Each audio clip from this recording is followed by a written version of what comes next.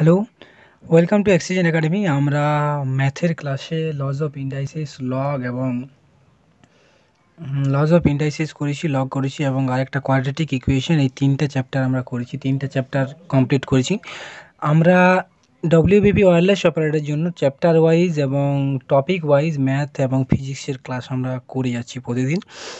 ঠিক, তা দেখো তোমাদেরকে আমি করাচ্ছিলাম কোয়াড্রেটিক ইকুয়েশন এরপর করানো ছিল ইরেশনের নাম্বার কিন্তু ইরেশনের নাম্বার করাচ্ছ একটা ছোট্ট একটা চ্যাপ্টার ওটা করতে এত বেশি টাইম লাগবে না। সেই জন্য যেগুলো বড় চ্যাপ্টার বা যেগুলোতে নাম্বারের ভ্যালুটা একটু যেটাতে ওয়েটটা বেশি, সেইটাতেই করানো দরকার।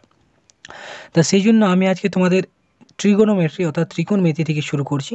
দেখো, ত্রিকোণমিতিতে তোমাদের তিনটা চ্যাপ্টার রয়েছে। ত্রিকোণমিতিতে তিনটা চ্যাপ্টার রয়েছে। যেটা তোমার অ্যাসোসিয়েট অ্যাঙ্গেল দু নাম্বার কম্পাউন্ড অ্যাঙ্গেল এবং থার্ড নাম্বার মাল্টিপ্যাল অ্যাঙ্গেল কিন্তু দেখো associate angle compound angle multiple angle কিন্তু ত্রিকোণমিতিতে আরও অনেক চ্যাপ্টার রয়েছে। যে চ্যাপ্টারগুলো একে অপরের সাথে ইন্টারকানেক্টেড ক্লাস ইলেভেন যখন তোমরা করেছ, তখন দেখেছ যে প্রথম চ্যাপ্টারটা যখন করছ, সেই সূত্রটা পদের চ্যাপ্টারে লাগছে। তাহলে হুট করে যে কোনো একটা চ্যাপ্টার শুরু করে দিলেই তোমাদের টপিক ওয়াইজ এরকম দিয়েছে, কিন্তু ওইভাবে তো হয় না। সেই জন্য একটা নর্মাল যে বেসিক নলেজটা যেটা দরকার একটা চ্যাপ্টার করার জন্য কম্পাউন্ড যে প্রথমেরটা তোমাদের অ্যাসোসিয়েট অ্যাঙ্গেল যেটা রয়েছে, সেটা করার জন্য একটা নর্মাল বেসিকটা দরকার, যেগুলো রয়েছে আগের চ্যাপ্টারে সেই জন্য ছোট্ট করে তোমাদেরকে আগের চ্যাপ্টারে একটা সামারাইজেন দিয়ে দেবো, যাতে করে তোমরা এই চ্যাপ্টারটা যখন করাবো, তখন কোনো রকম যাতে অসুবিধা তোমাদের বুঝতে না হয় আরও বেশি অসুবিধা যেন না হয়, ঠিক?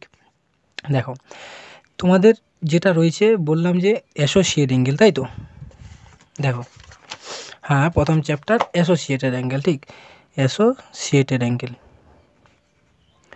এরপর দেখো অ্যাসোসিয়েটেড অ্যাঙ্গেল যখন করবে, তোমাদের একটা জিনিস দেখা দরকার নর্মাল প্রথমেই চ্যাপ্টারের মধ্যে ঢুকে পড়ছি, যে পাই সমান হয় ওয়ান এইট্টি এটা তোমরা সকলে জানো পাই বাই টু সমান হয় নাইনটি ঠিক? এটাতে কোনো প্রবলেম নেই। পাই বাই ফোর, তাহলে কত হয়ে যাবে? One eighty by four equals forty five degree pi by three সমান হয়ে যাবে one eighty by three equals sixty degree and pi by six কত হয়ে যাবে? One eighty by six equal thirty degree এত অবধি কোনো কারও অসুবিধা নেই, এগুলো তোমরা সকলেই জানো। এরপর অ্যাসোসিয়েটেড অঙ্গল যখন করবে, তোমরা তোমাদের যে সাইন থার্টির মান বা সাইন সিক্সটির মান কস থার্টি এগুলো সমস্ত যেগুলো রয়েছে, তাদের অ্যাঙ্গেলের মানটা জানতেই হবে। তা না হলে যে অ্যাসোসিয়েটেড অ্যাঙ্গেলের অঙ্কগুলো করা যাবে না। তো তার আগে একটা যে নর্মাল বেসিক জিনিস, সেটা তোমাদের দেওয়া দরকার, যেটা হচ্ছে কোয়াডেন্টের থিওরি কোয়াডেন্টের থিওরিতে কি বলে? দেখো, এই কোয়াডেন্টের ক্ষেত্রে যে ট্রান্সফরমেশনটা হয়, সেটাতে অনেকের অনেক রকম অসুবিধা থাকে। কীরকম অসুবিধা? যে সাইনের সাথে তিনশো ষাট যখন আসবে, তখন ninety into four plus theta এইটা যখন করবে, তাহলে সাইনের সাথে সাইন ঘুরে আসবে না কস ঘুরে আসবে? দিয়ে সাইন কস যদি ঘুরে আসবে, সেটাও যখন বুঝতে পারলে, দিয়ে তারপর প্রবলেম হয় যে চিহ্নটা যেটা যেটা নেগেটিভ হবে না পজিটিভ হবে, সেটার ক্ষেত্রে অনেক বেশি প্রবলেম হয়। ঠিক? তা এই প্রবলেমটা তোমাদের এই ম্যাথ এই চ্যাপ্টারটা দেখার পর, এই ক্লাসটা দেখার পর কারও কোনো রকম প্রবলেম হবে না এতটা তোমাদেরকে গ্যারেন্টি দিতে পারি। ঠিক, তো দেখো, এইটাকে বলে ফার্স্ট কোয়ারেন্ট অর্থাৎ প্রথম পাদ, এইটা সেকেন্ড এইটা থার্ড এইটা ফোর্থ অ্যান্ড প্রতিটা কোয়াড্যান্ট একে অপরের সাথে নাইনটি ডিগ্রি কোণ করে আসে। নাইনটি, এইটা পুরো নাইনটি এইখান থেকে এইটা নাইনটি, তাহলে এইটা পুরোটা হয়ে গেল ওয়ান এইট্টি। এইটা আবার নাইনটি, তাহলে পুরোটা হয়ে গেল টু সেভেন্টি, এইটা নাইনটি, এইটা তাহলে হয়ে গেল থ্রি সিক্সটি। তাহলে এইটা এক সাইডে একটা সরলরেখা টানলে তোমরা জানো যে কোন তৈরি হয় একশো আশি, এবং পুরোটা একটা বৃত্ত তৈরি করে তিনশো ষাট ডিগ্রি। এত দূর অবধি তোমরা জানো। দিয়ে ফার্স্ট কোয়াড্রেন্টে অল অল হয় পজিটিভ অল বলতে কী কী থাকে? Sine cos tan cosec, sec আর কট। এই ছটা থাকে। ছটাই কিন্তু ফার্স্ট কোয়ারেন্টে পজিটিভ অর্থাৎ ফার্স্ট কোয়ারেন্টে সবগুলোই পজিটিভ এরপর দেখো সেকেন্ড কোয়ারেন্টে কী হয়? সেকেন্ড কোয়ারেন্টে সাইন পজিটিভ হয়। সাইন পজিটিভ হয়। তাহলে এখানে অল পজিটিভ এখানে সাইন এখানে অল সাইন এখানে টেন পজিটিভ এখানে অল সাইন টেন আর এখানে কস পজিটিভ এত দূর অবধি কোনো অসুবিধা নেই। অল, প্রথমেরটাতে অল, দ্বিতীয়টাতে সাইন, দিয়ে টেন, দিয়ে cot.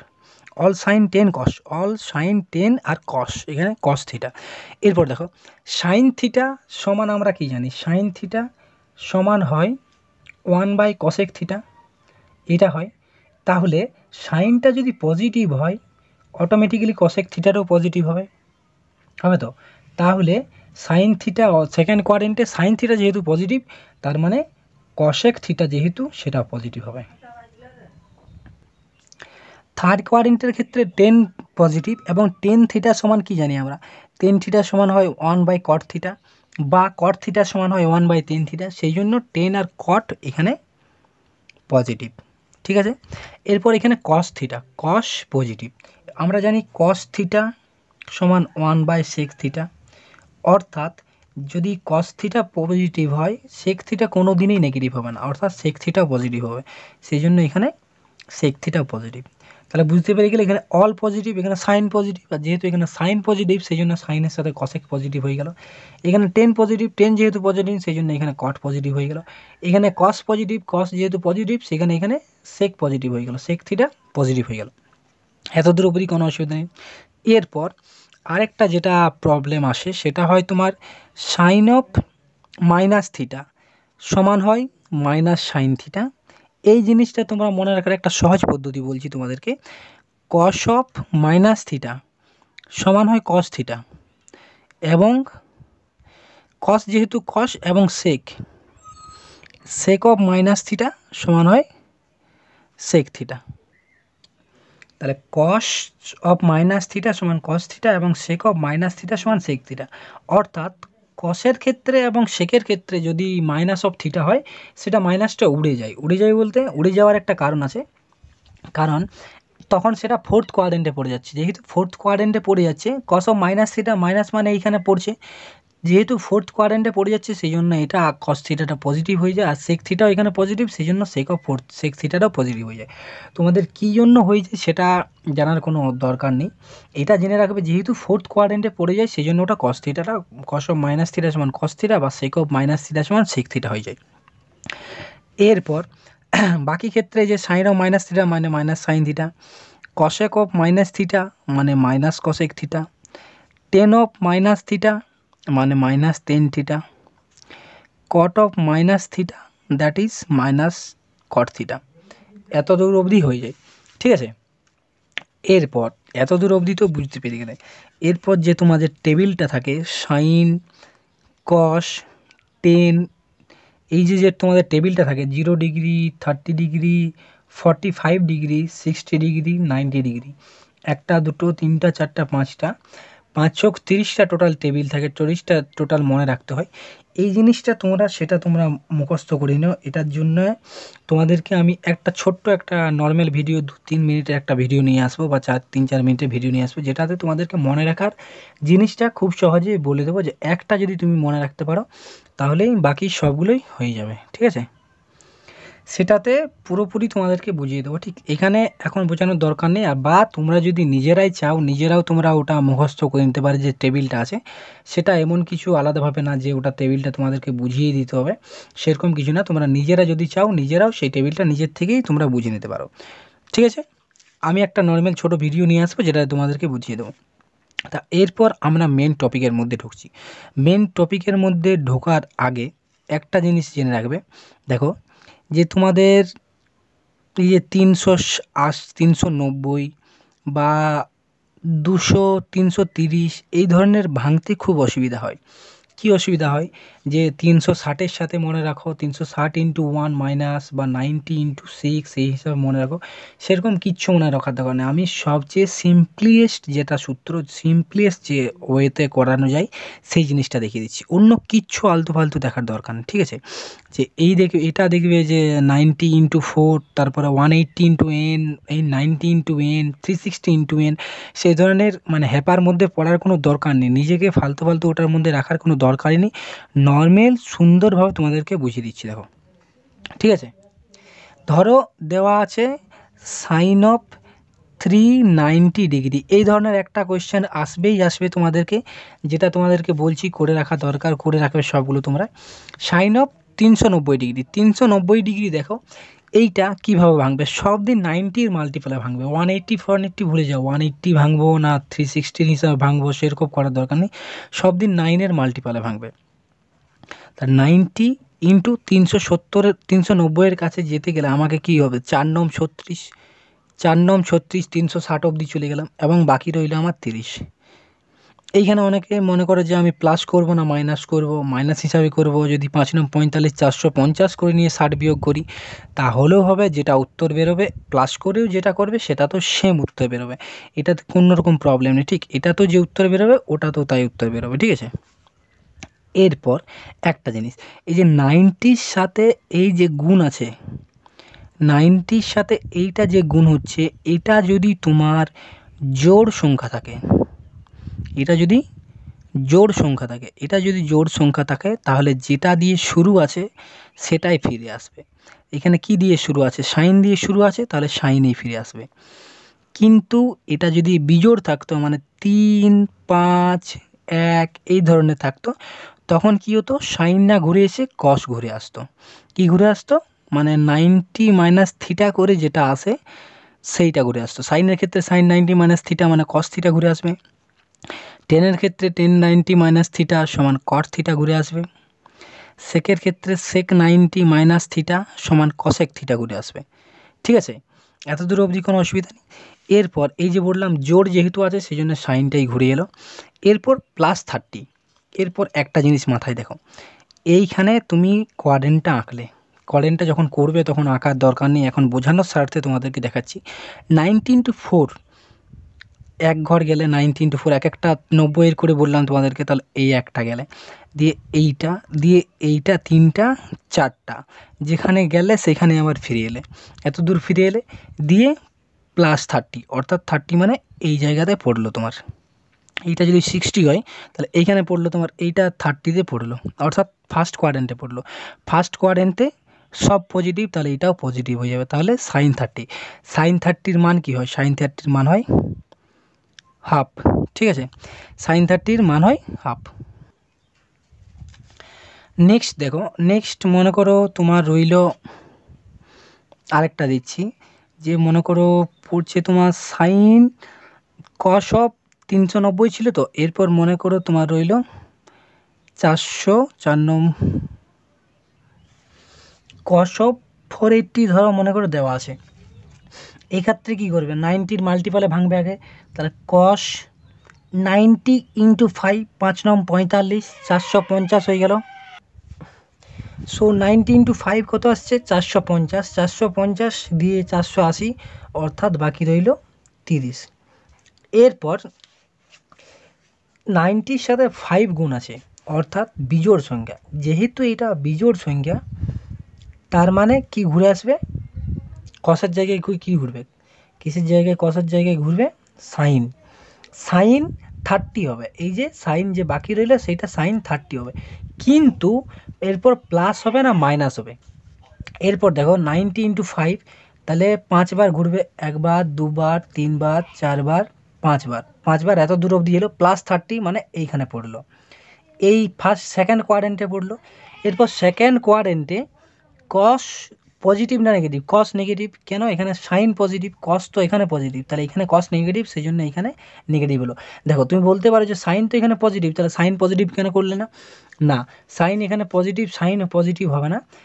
এই যে যে কোশ্চেনটা থাকে কোশ্চেনটাতে যে ডিগ্রিটা থাকে মানে যেটা থাকে, সেইটার উপর ডিপেন্ড করে করে যে অ্যান্সারটা যেটা বেরোবে, সেটার ডিগ্রিটা কী হবে? এখানে যদি সাইন ফোর এইট্টি থাকতো, তাহলে হয়তো যদি ফোর এইট্টি থাকতো, তারপর যদি কস আসতো, তখন কিন্তু এটা পজিটিভ হয়ে যেত, কোনো প্রবলেম হতো না। কিন্তু যেহেতু এই কোয়ারেন্টে মানে কসটা সেকেন্ড কোয়ারেন্টে কসটা যেহেতু সেকেন্ড কোয়ারেন্টে মাইনাস সেই জন্য এটাও মাইনাস হয়ে গেল। কিন্তু এখানে সাইন পজিটিভ তা সত্ত্বেও মাইনাস হয়ে যাচ্ছে, ঠিক আছে? তাহলে এখান থেকে একটা জিনিস বুঝতে পারলে যে কোয়েশ্চানে যেটা থাকে, সেটার উপর ডিপেন্ড করে প্লাস বা মাইনাসটা হয়, ঠিক আছে? এরপর ধরো তোমার দেওয়া আছে কিছু একটা ধরো মনে করে দেওয়া আছে, sine five seventy. Sine of five seventy দেওয়া আছে। সাইন অফ ফাইভ সেভেন্টি মানে কি? সাইন নাইনটি ইন্টু সিক্স ছয় নম চুয়ান্ন, পাঁচশো তিরিশ প্লাস তিরিশ আসছে, এইটা আসছে। তাহলে যেহেতু জোর অর্থাৎ সাইনই ঘুরে আসবে, দিয়ে তিরিশ হবে, কিন্তু এরপর প্লাস হবে না, মাইনাস হবে?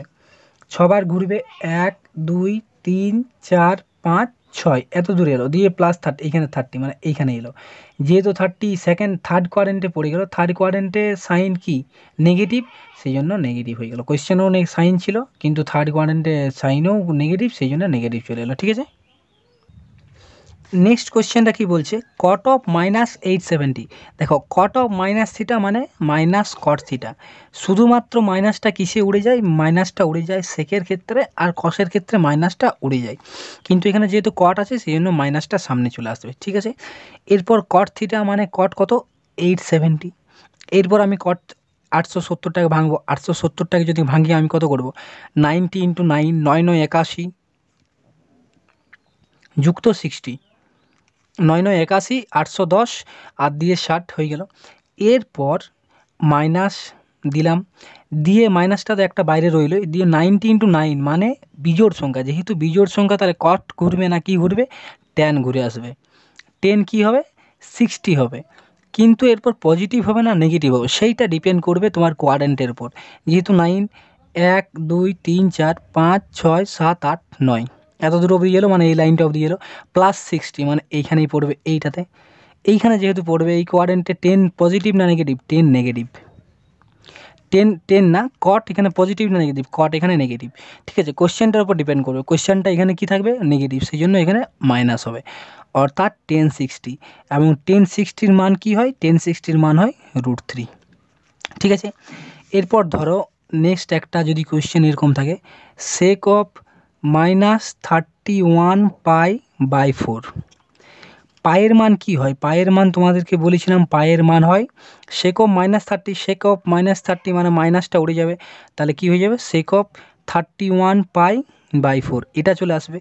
এরপর পায়ের মান কি হয়? পাই সমান হয় ওয়ান এইট্টি ডিগ্রি। তাই thirty one into one eighty by four.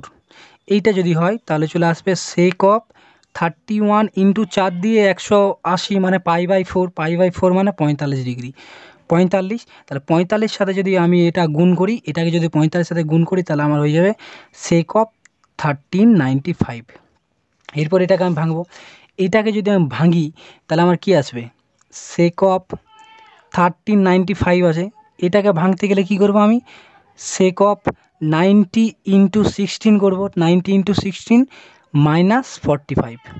Ninety into sixteen, ছয় ষোলোই কত হয়? দেখো, ছয় ষোলোই, নয় ছয় চুয়ান্ন, চার হাত থাকলে পাঁচ, নয় কে নয় নয় পাঁচে চোদ্দ, একশো চুয়াল্লিশ। অর্থাৎ চোদ্দোশো চল্লিশ হচ্ছে, চোদ্দোশো চল্লিশ থেকে পঁয়তাল্লিশ বিয়োগ করলে তেরোশো পঁচানব্বই হয়। ঠিক আছে? আমি যদি এটাকে পনেরো করতাম, তাও হতো নাইনটি ইন্টু পনেরো যদি করতাম, দিয়ে তারপরে অ্যাড করতাম বাকিটা, তাহলেও হতো কিন্তু আমি মাইনাস করলাম, এটাতে আমার সুবিধা আছে। এরপর যেহেতু জোর সংখ্যা, অর্থাৎ কী হবে? সেকটাই ঘুরে আসবে, তাহলে সেকটাই ঘুরে এলো। এবং মাইনাস ফর্টি ফাইভ এরপর শুধু ফর্টি ফাইভ এলো। ঠিক ফর্টি ফাইভ এলো। এরপর এই যে sixteen nineteen to sixteen minus forty five এরপর তাহলে এইটা সেকটা পজিটিভ হবে নেগেটিভ হবে? ষোলো বার এইটাতে চারবার আটবার বারো ষোলো দিয়ে মাইনাস ফোরটি ফাইভ মানে এখানে পড়ছে। All sine tan cos cos এখানে পজিটিভ এবং সেকেও পজিটিভ হয়। কস আর সেক এখানে পজিটিভ হয়। তাহলে এখানে সেক ফর্টি ফাইভ হয়ে গেল।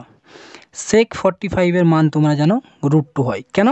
সেক ফর্টি ফাইভ মানে one by cos forty five cos forty five cos forty five মানে কস ফর্টি ফাইভ মানে সাইনও ফর্টি ফাইভ তা sine forty five one by root two তাহলে one by one by root two মানে root two এইভাবে বের করতে হয়। আমি তো শেক ফর্টি ফাইভের মান জানতাম না, কিন্তু শেক ফর্টি ফাইভ মানে আমি কি জানি? Sec forty five sec forty five আমি জানি। যে one by cos forty five এমন one by cos forty five মানে কী হয়? কস ফোরটি ফাইভের যেটা মান, সেটা সাইনেরও হয়। সাইন ফোরটি ফাইভেও হয়। কিন্তু সাইনে যেটা তিরিশ হয় জিরো হয়, সেটা কসের ক্ষেত্রে নাইনটি হয়। সাইনের যেটা তিরিশ হয়, সেটা কসের ক্ষেত্রে সিক্সটি হয়, যেটা পঁয়তাল্লিশ হয়, সেটা পঁয়তাল্লিশ হয়, যেটা ষাট হয়, সেটা তিরিশ হয়। কসের ক্ষেত্রে যেটা ষাট, সাইনের ক্ষেত্রে সেটা তিরিশ মানে দুটোর যোগফলটা নাইনটি হয়। তাহলে এখানে যেহেতু কস পঁয়তাল্লিশ, তাহলে সাইনটাও পঁয়তাল্লিশ হবে। কেন? কারণ পঁয়তাল্লিশ পঁয়তাল্লিশ, নব্বই। ওয়ান বাই কস পঁয়তাল্লিশ হবে কর পঁয়তাল্লিশ মান জানি না, আমি সাইন পঁয়তাল্লিশের মান জানি, সাইন পঁয়তাল্লিশ মানে ওয়ান বাই রুট টু তাহলে চলে আসছে আমার রুট টু ঠিক আছে? আচ্ছা দেখো, এই চারটা এই চারটা ম্যাথ রইল তোমাদের হোমওয়ার্কে রইল। এই চারটা ম্যাথ হোমওয়ার্কে করে নিয়ে কমেন্ট সেকশানে তোমরা জানিও। আর কাল থেকে আমরা যে এই চ্যাপ্টারটা এই চ্যাপ্টারটা নেক্সট কোয়েশ্চেনগুলো করে যাব। আজকে শুধুমাত্র কনসেপ্টটা বিল্ড আপ করার জন্য যে কনসেপ্টটা কীভাবে তৈরি হয় কনসেপ্টটা বিল্ড করার বিল্ড আপ করার জন্য তোমাদেরকে বোঝালাম। তোমাদেরকে বুঝিয়ে দিলাম কোয়াড্রেন্টের ক্ষেত্রে কোয়াড্রেন্ট কীভাবে হয়। কোয়ারেন্টে কোন কোয়ারেন্টে পড়লে কখন পজিটিভ হয়, কখন নেগেটিভ হয়, কখন সেটাই ঘুরে আসবে, কখন তার অপোজিটটা ঘুরে আসবে, সেটা সমস্তটা বুঝিয়ে দিলাম। পুরো ভিডিওটা যেটা তোমরা দেখলে, সেটার একটা ঠিকঠাক করে খাতাতে নোট হিসাবে নিয়ে রেখে নিও, ঠিক আছে? ওকে দেন এইটা যেটা হোমওয়ার্কটা রইল, সেটা কমেন্ট সেকশনে জানিও ঠিক আছে?